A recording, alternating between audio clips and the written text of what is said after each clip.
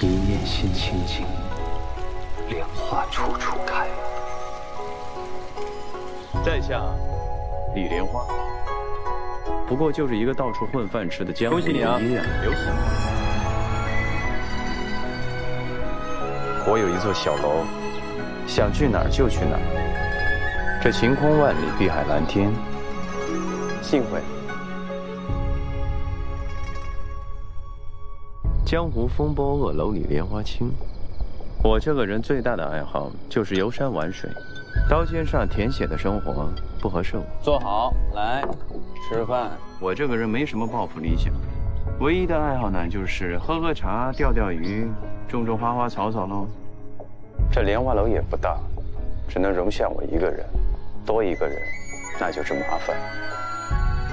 人在江湖靠的是自己，我一个人自在惯了。不喜欢与人相交过深。李莲花走了，该走了，来一把。你接下来准备干嘛？我找个地方，我晒晒太阳，钓钓鱼啊，这多自在！哎，静心朋友，你最起码得去武林巅峰看一看，哎，去那武林最高处瞧一瞧才行。那高处我去过，没意思。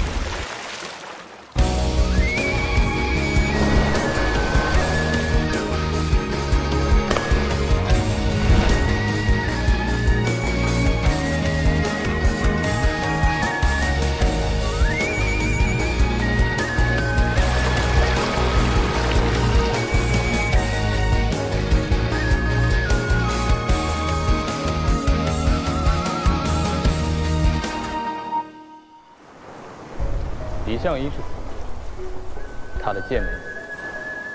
李相夷不是天下第一吗？天下第一怎么会死？李相夷肯定还活着。少时间，专斩枭雄，区区一个碧茶之辈，又怎能困得住相夷太监？这个就是我师父李相夷的画像了。有些人弃剑如云，有些人终身不服。这个江湖熙来攘往，总会有新的传奇。李莲花，今日已经过了十年的逍遥日子。十年了，有四部门有我，没有什么放不下，奸恶邪祟，也更没有什么定会寸草不生，解不开的结。我等誓死，誓死追随门主。我早就已经不是你们的门主。花有重开日，人无再上午。我也不需要什么天下第一、万人敬仰。告辞。这人生无常嘛，纠结无益。你看，现在的景色多美好啊！